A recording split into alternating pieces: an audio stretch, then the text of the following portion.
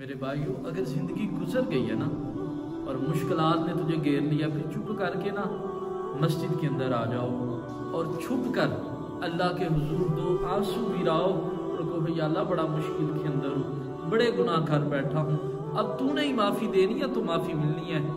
इस तरह अल्लाह के हजूर तरह बात तो करना, देखना दिल का बोझ कितना हल्का होता। अब मुहदस इब्ने जोशी, आप ना एक वाक्य लिखते हैं, हज़रत अबू हाशिम एक बहुत दरवेश इंसान थे।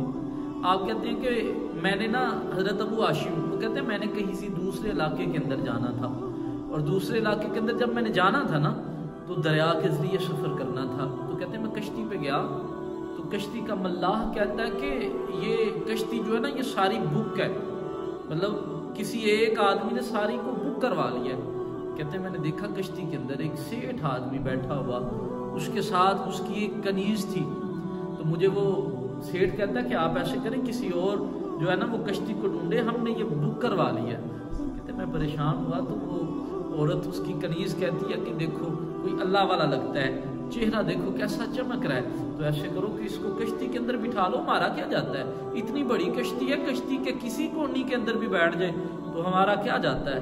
तो हज़रत अबू हाशिम जब कश्ती के अंदर बैठे ना तो कहते हैं कि थोड़ी दूर गए तो उन्होंने ना खाना निकाला। खाना खाने लगे ना, खाना। लोग अब भी जाते हैं ना, क्या कहते हैं इसे?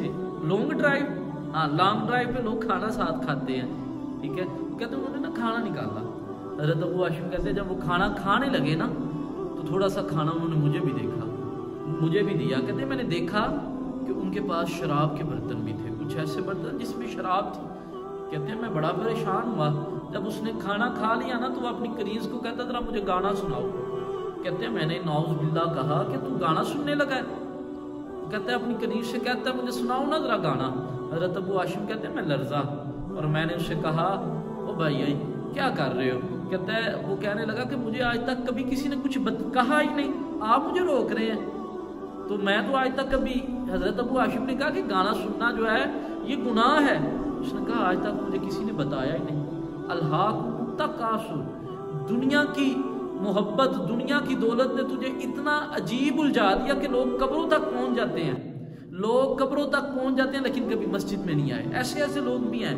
वो कहते मुझे कभी किसी ने बताया ही नहीं। मुझे कभी किसी ने कहा ही नहीं। हज़रत अबू हाशिम ने ना उसे पुराने मजीद की चंद आयात सुनाई। उसकी अजीब सी कफियत हो गई। उसने जारो की तार रोना शुरू कर दिया।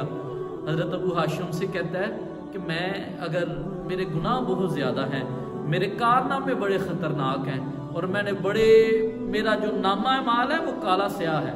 मुझे अल्लाह से माफ़ी मिल जाएगी ना? हज़रत अबू हाशिम कहते हैं, मैंने उससे कहा भाई, तेरे जाने की देर है। उसके घर में माफ़ी की कोई देर नहीं। तुझे माफ़ी ज़रूर मिलेगी। तेरे जाने की देर है। हज़रत अबू हाशिम कहते हैं, उसने लोंडी को कनीस को आज़ाद किया।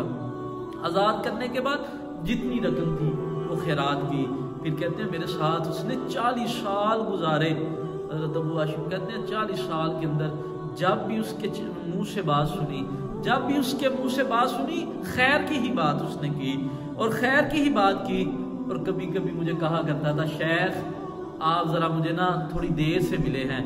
वो क्या कहते हैं कि ज़िंदगी से यही गिला है कि तू थोड़ी देर से मिला है। कहते हैं, शेख, मुझे कहा करता था आप थोड़ी लेट मिले कभी पहले मिल जाते तो ज़िंदगी के अंदर हो सकता है कि मैं बड़ी देर पहले सुधर जाता। शेख कहते हैं, अबू हाशिम कहते हैं कि कुछ चालीस साल मेरे साथ जब उसने गुजारे ना, चालीस साल के बाद उसका इंतकाल हुआ। कहते, मेरा दोस्त बन गया था। मुझसे उससे, मुझे उससे बहुत मोहब्बत हो गई थी। कहते, मैं उससे बड़ा प्यार करता था। चालीस साल बाद जब उसका इंतकाल हुआ, हज़रत अबू हाशिम कहते, मैंने उसका जनाजा पढ़ाया। मैंने उसे कफन दिया।